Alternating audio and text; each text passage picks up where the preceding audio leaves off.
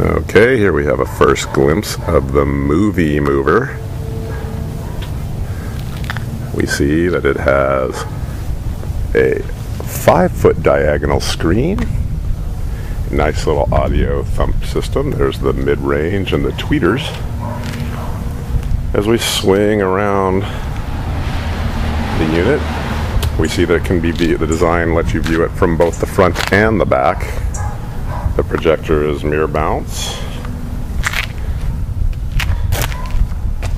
That way I was able to cut it in half the length. There we have the DVD unit. We use a wet cell marine battery to power the 300 watt projector with the inverter. I Have a separate battery system for the 100 watt There's the sub. And tucked in is the two channel amp. All right, let's see it.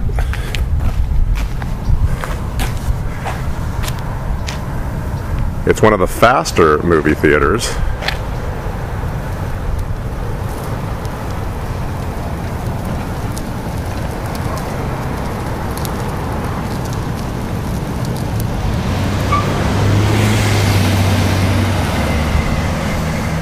and it runs at about five miles an hour.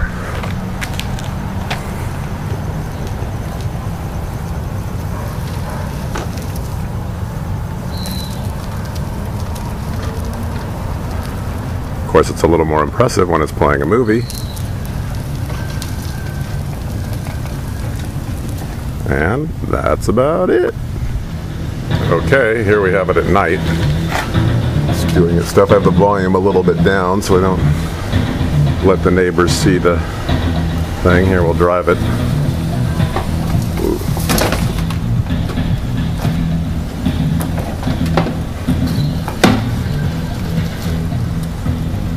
Kind of hard to film and drive.